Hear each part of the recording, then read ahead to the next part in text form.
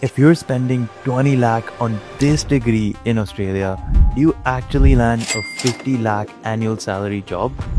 If I'm making this video, obviously yes. You don't just walk into cybersecurity. With new quantum chips coming out, it's booming.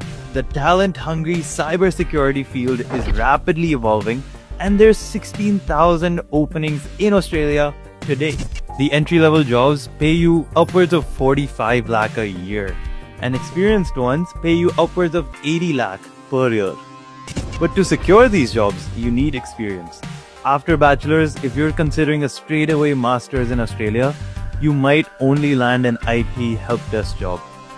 No offense to them, but for cybersecurity, you need experience in IT, especially in networks or systems for at least two to four years. And second, you need a good university. And that's just common sense. But here's what's interesting. Cybersecurity specialists are on a fast track to Australia PR. So if you're in tech with some experience and you want to solve the world's biggest problems, message us.